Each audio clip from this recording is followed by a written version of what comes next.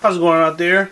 Welcome from H2 Tech Videos. Today I want to show you how to change the wallpaper on the Google Chromebook. Now when you first pick it up, it will have uh, probably this basic wallpaper that is on the front screen and you might get a little tired of it and there's nothing wrong with that.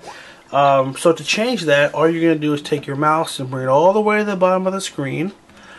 The bottom section. Or let's see. No, I was wrong. Anywhere on the screen, you can click with two fingers. It will bring up this menu and you can click set wallpaper.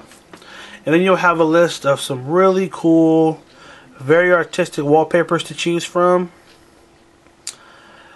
Um, or you can even go to custom.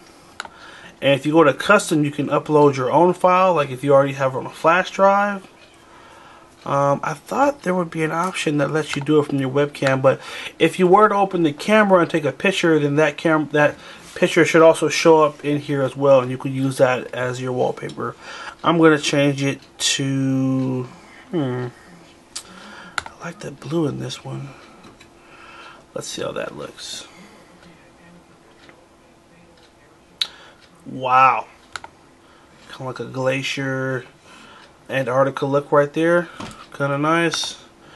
Let's do another one. Hmm.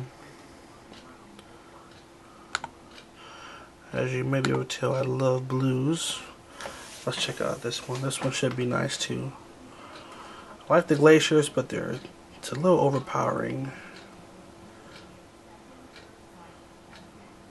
There we go. That is nice.